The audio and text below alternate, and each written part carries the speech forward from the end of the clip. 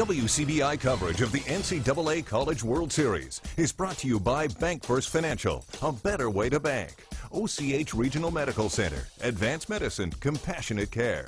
Evans Plumbing and AC Incorporated. It's hard to stop a train. Prestige Farms of Mississippi. 300 employees producing pork to feed the world. And count on Starkville Ford Lincoln whenever a dollar counts. TD Ameritrade Park. Tom Ebel, Robby Donahoe continuing our coverage with Mississippi State, getting ready for what could be the game that sends them to the National Championship Series coming up tomorrow at 2 o'clock against Oregon State. Getting closer to the point where they may be playing for the whole thing now.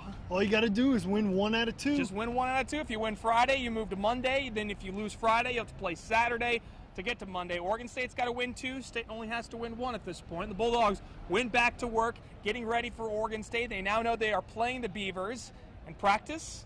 Didn't have to worry about the rain today. We actually practiced outside today. Yeah, looking good. A couple guys, I mean, batting practice looked great. Guys like Justin Foscue, Jordan Westburg had another really good day. Yeah. And BP.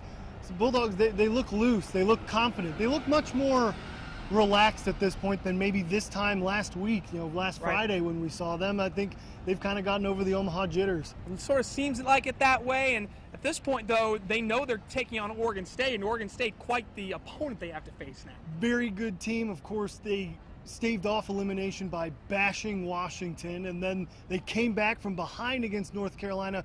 So Oregon State, a lot of talent up and down their roster, but Jacob Billingsley, who will be starting against Oregon tomorrow, says they see it every day in the SEC.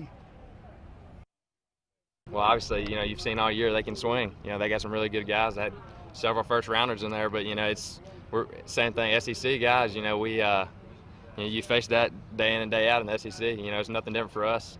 Just another game. You know, it is a big game, but it's another game. That's how we're going to approach it. That's how we're going to take it. So, you know, try to take care of business with that. Beavers a really good club, and it'll be a really competitive game, and we're certainly looking forward to it, and I'm sure they are as well.